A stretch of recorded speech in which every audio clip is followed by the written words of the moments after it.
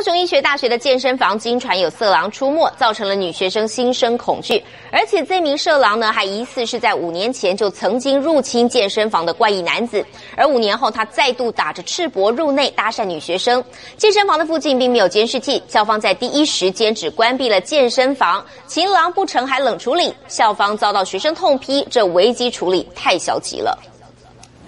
现代人重视身材雕塑，只要有空就是往健身房跑。但高雄医学大学却经传色狼出没，不仅打赤膊出现在健身房，还会伺机搭讪，怪异行为让学生们个个人人自危。请女同学帮忙拉筋，然后就有身体接触吧。就是有时候他还会骚扰其他在。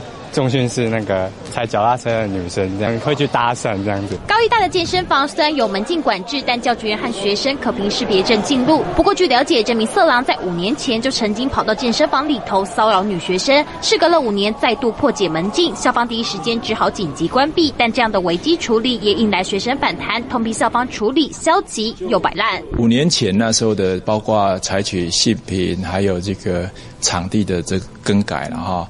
其实应该都是积极的措施了哈。五年前的骚扰事件还将健身房搬迁，校方澄清危机处理很积极，但五年后事件没解决，健身房周遭也没有监视器，情郎不成，也让学校的安全再度亮起红灯。记者马玉文高彦泰高雄报道。